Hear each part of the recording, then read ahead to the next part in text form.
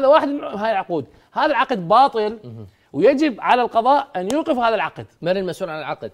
ليش يجب أن يوقف هذا العقد؟ زين. لأن هذا العقد تم في ظل حكومة تصريف أعمال وهاي الأموال خارج حدود صلاحية تصريف يعني الأعمال. أي قرار الآن أو أي اتفاق أو أي مشروع أو أي مقاوله عن تصريف الأعمال شنو وصفها؟ هسه إحنا وزعنا السجن على المسؤولين أقول لك بعد منو اللي لازم يكون بالسجن؟ عادل عبد المهدي عادل عبد المجيد عادل عبد المهدي في مقدمة المسجونين المفروض عادل عبد المهدي يتجاوز حدود تصريف الأعمال بشكل فاحش.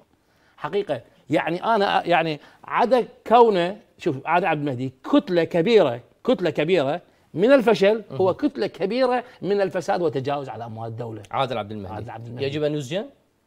مكانه الصحيح. السجن عدا قتل المتظاهرين. طيب.